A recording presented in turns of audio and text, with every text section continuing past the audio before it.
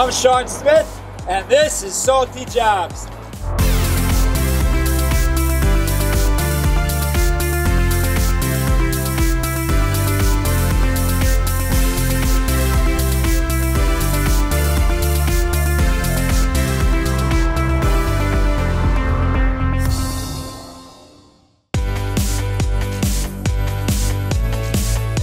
Hey everyone, we're here today at Walter Duke and Partners, a commercial real estate valuation company.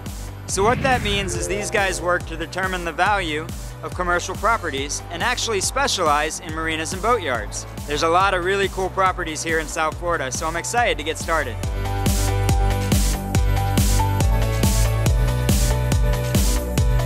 We're here with Walter, Albert, and Kate. Guys, what are we gonna be doing today? Well, we just got a call from an out-of-town investor that needs to get the value of one of the properties here in South Florida. How do we go about finding the value?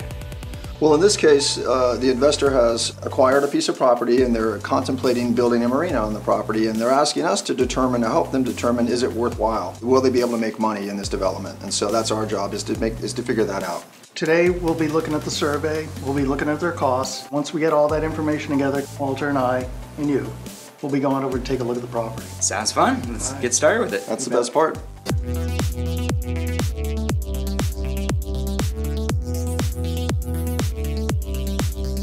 We're here with Kate, who is an appraiser in training at Walter Duke and Partners. Kate, I see the computer screen here in front of me. Is this part of the initial research? What are you doing? When an assignment comes in, what we like to do is look up the property online. We can look at the aerial view of it and see the entire outline of the property and the whole size of it. Oh, very smart. So technology really is a big part of this process. Yes, definitely. There's a lot of information that we can find very quickly and easily online. So what put you on this career path? How'd you end up doing this? I was born and raised here in Fort Lauderdale. I went to college in North Florida. So when I moved back, I knew I wanted to work in the marine industry. I've been around it my entire life. I'm doing a paid internship here at Walter Duke and Partners, which is allowing me to experience different property types and get the experience on marine related properties and other commercial real estate as well. Okay, so you've really taken the college path to the marine industry. Yes, actually, I'm really glad that I did because having a bachelor degree is a requirement to be an appraiser now. Oh, really? So I didn't plan on that, but I'm really glad that I went through with it because now I need it. Well, I'm looking forward to getting over to the property and uh, seeing what you do on site.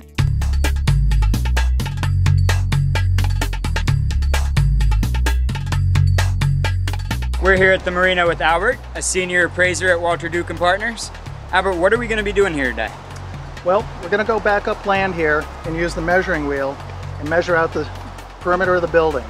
That way we'll be able to figure out the square footage of it. We use a little bit of algebra, we use a little bit of geometry, and uh, it helps us come up with a value for the property So all that math I thought I'd never use when I was learning it in high school, you use every day. every single day.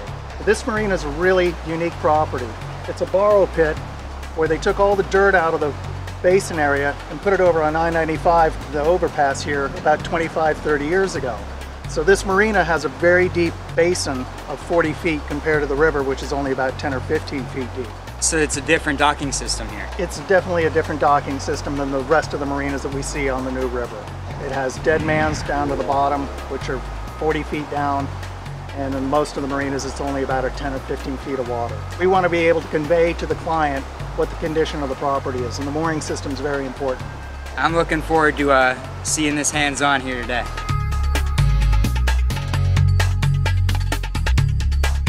Using the measuring wheel and a large tape measure, Albert and I took measurements of the property to determine the square footage.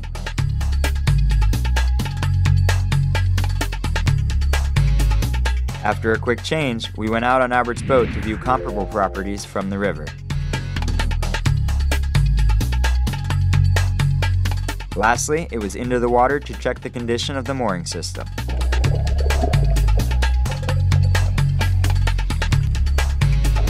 With all this information in hand, we were ready to determine the value of the property and give our recommendation to the investor. So what that means is these guys work to determine the value. Ah. We're here with Kate, who is an appraiser. Ah.